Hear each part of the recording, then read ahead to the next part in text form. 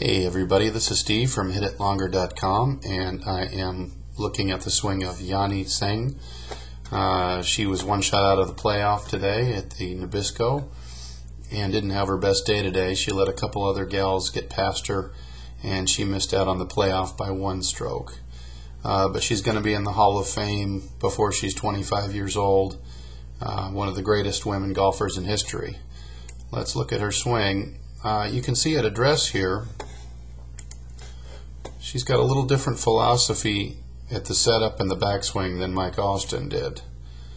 The width of the feet is wider than the width of her hips, and she's got a little bit of a squatting, sit down type of move as well, with the knees bent and the rear end kind of low. Um, this is a uh, you know lowering the center of gravity, widening the base of support. This is a swing uh, trying for stability on the backswing rather than mobility, which is opposite philosophy that Mike Austin had. So you're going to see her look really stable with her lower body. Not a lot of movement except for a little bit of hip turn. You see her go back though. You, I think you're going to. What I really like a couple things here is that she's very wide going back, maintains her width very well. There's no question that she's a very supple athlete. She gets it back halfway. She's maintaining the arc very well. You can see how stable the lower body is. And she makes a gigantic shoulder turn, as you can see. You can really see the shoulder blades wound up and the torso wound up here. Um, the club is not an awesome position at the top. If you would see it from down the line, you would see that it's a little bit laid off, and it's a little bit long, which doesn't bother me as much. But she's definitely um, shooting for more of a down and across style of swinging rather than an under, up, and out style of swing. And this is why she ends up laid off because she's setting up for a more of a leftward horizontal swing plane. Which you can see from the down the line uh, angle that we'll cover on another day for sure. Her transition is terrific. You can really see how the hips lead into the impact zone. A lot of beginners do not have this motion of the lower body leading.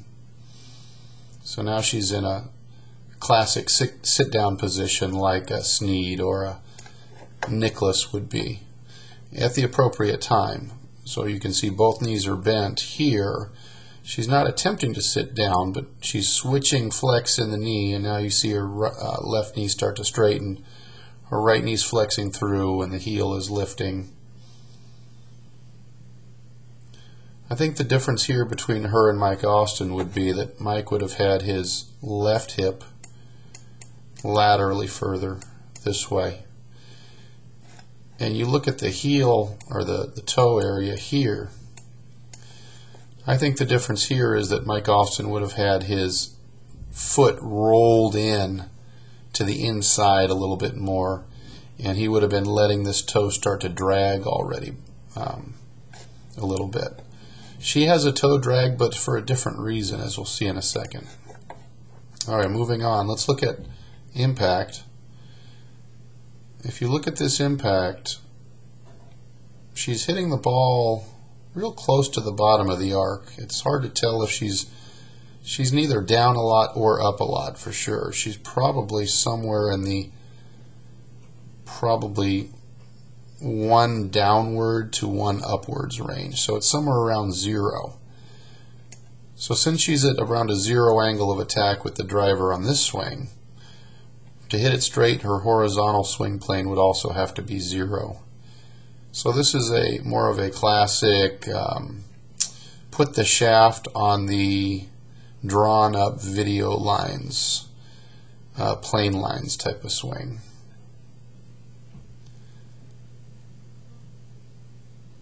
This is a great position here, uh, following through. I really like that she's flexing the right knee, letting the heel come up freely.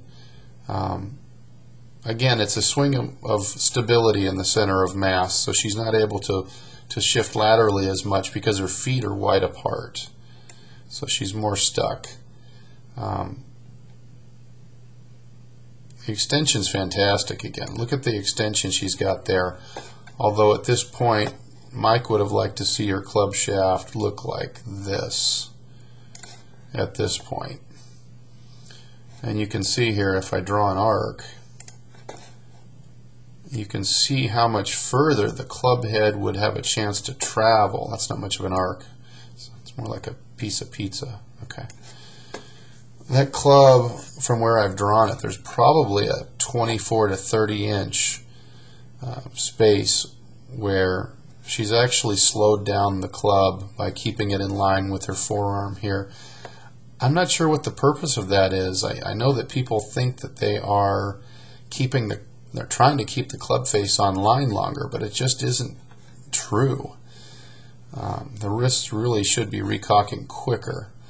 Um, that's kind of scary because she's already averaging, um, her average drive is almost out there to a lot of the male players on the PGA Tour. She's averages like 270 per drive. It's something really stupid like that. It's really long for someone this of this size and, and of you know female without the uh, testosterone that males have. Um,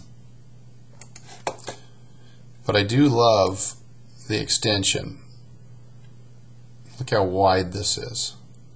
That's just terrific. Mike would have loved that. Again, you see the, the stiff-wristed uh, follow-through where we might want to look something more like this at this point. There's a there's an angle that Dustin Johnson looks like, for example. Dustin Johnson is probably at least as good at Mike Austin at recocking that club quickly. He probably would have his club on the red line at this point. But the, the but the extension is tremendous. Coming through to the finish, there's the there's where she hits the end there. You can see how much her spine is twisted here this is definitely the swing of someone young and supple. I mean, her muscles may be supple and capable enough of stretching this far, but now it's a matter of, of bones, spine, uh, vertebrae, discs, facet, joints. Um, this may be putting extra stress on those when you turn and your chest is facing way left of the target while your belly button is facing at the target. Um, it's it's unnecessary risk um, this is because she's not using power, getting power out of her hands, but she's it's more of a style where the turn of the body is trying to get speed. And again, she, she can spin fast enough. She's got really powerful legs, terrific rhythm. That's the one thing I like to watch her swing. Her swing is so unhurried and so rhythmic and so relaxed. It's just so supple. Um, I really like watching that about her swing.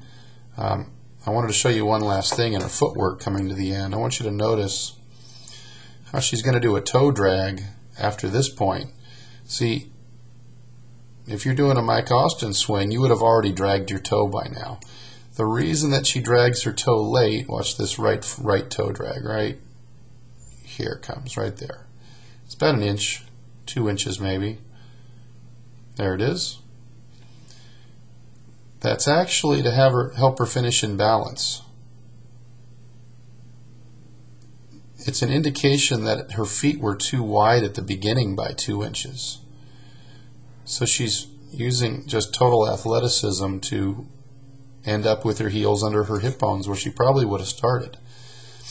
Also look at her left foot torque outwards as she goes through the ball. Watch, she's kind of square here right here. Watch your foot. Left foot turns about 30 degrees. And then her toe drags. I think I would like to see her just have her feet in that position to begin with. Um, would get rid of some unnecessary motion. It would also take the stress off of her tibia bone here and off of her lower back just by, excuse me, turning the um, turning the um, the foot out about 30 degrees to start with. Pardon me, I've had a coughing fit lately.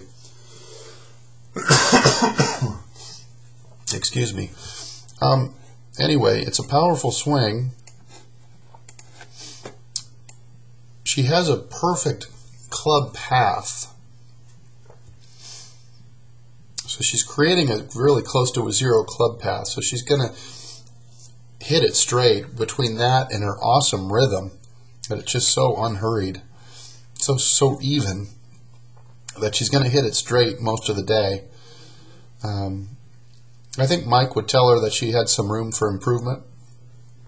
Obviously, she would tell Mike that she's a lot better putter than he ever was because you, you don't win as many tournaments as she does without being probably the best putter on the planet. You'd have to imagine she's got to be just about the best putter on the planet to win this many tournaments by so much. Anyway, hope you enjoyed. I'll talk to you again soon.